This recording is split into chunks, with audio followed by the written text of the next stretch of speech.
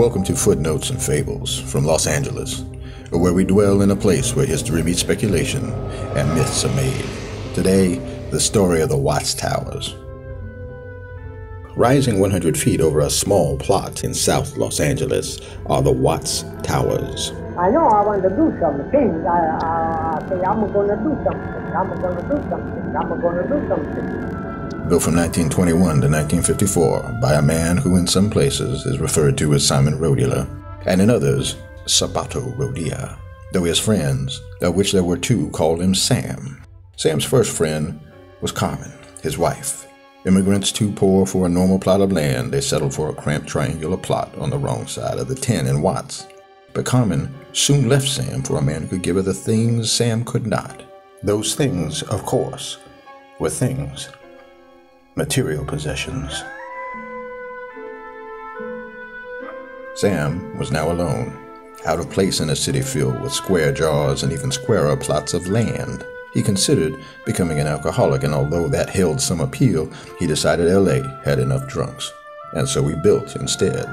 Some other people that they thinking I was crazy, and uh, and some people that they said he's going to do something.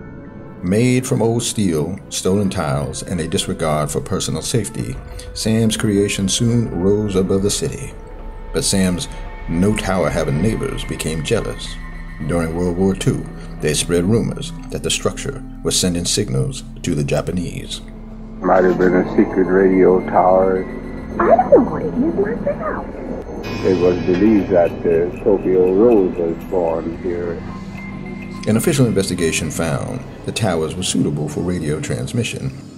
But as no secret messages were discovered, the government let them stand for now. I built the tower. I built the tower for you. After the war, Sam's towers grew, as did their fame. But the Hollywood elites across the 10 were not happy to share the spotlight. The city council agreed with the elites. It was best to get back to pretending South LA did not exist and so they decreed the towers unsafe. Made from scrap metal, they would return to that form. But the city forgot about one thing, and that thing was the engineer, Bud Goldstone. Not much is known about Bud, but the photos we do have suggest he left a trail of broken hearts and solved math problems in his wake. Calculus by day, calculus by night. Bud aimed to prove the towers safe, so he designed a lateral force test, which is engineer speak for a giant crane yanking on the towers. The epic battle of crane versus garbage tower was set. The smart money was on the crane, but the underdog pulled through. The towers never budged, and with the crane winches overheating, Bud declared the towers victorious. The world now saw Sam for what Bud knew he was a fellow engineer. And Sam saw Bud for what he was Sam's second friend. That brings us back to Sam's first friend.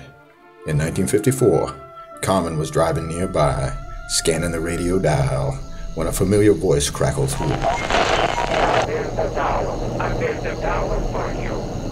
Drawn, Carmen piloted her blue Pontiac back to Sam and found what her old house had become.